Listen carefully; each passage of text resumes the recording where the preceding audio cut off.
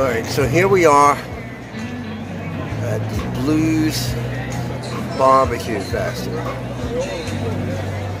20th annual. Earlier we saw AJ Ghent. And now it's Ruthie Foster's turn.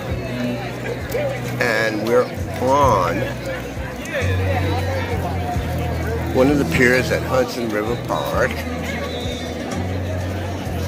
I believe it's pier number 97.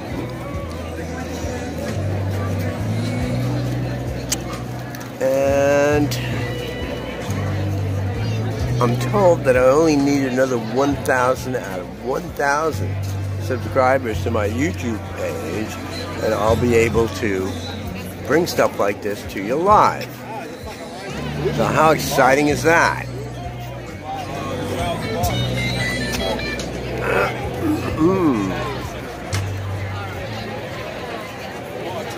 If you want me to uh, stream live stuff from the New York Comic Con coming up in October, you better get busy.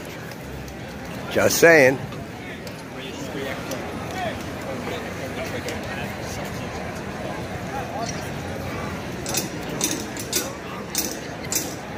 And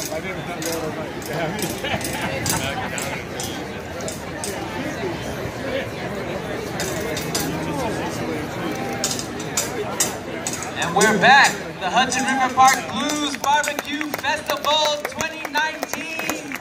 Celebrating 20 years. Have you gotten your barbecue yet? Raise your hands. Who's got their barbecue yet? So we got a little barbecue battle happening over there on Pier 97. From Mighty Quinn's to Blue Smoke, Butcher Bar, Dinosaur Barbecue. Have a little taste of all four of them. See who's best and uh, get a Sixpoint beer. Drink responsibly, of course, one of our sponsors. Thank you to Sixpoint for these proceedings.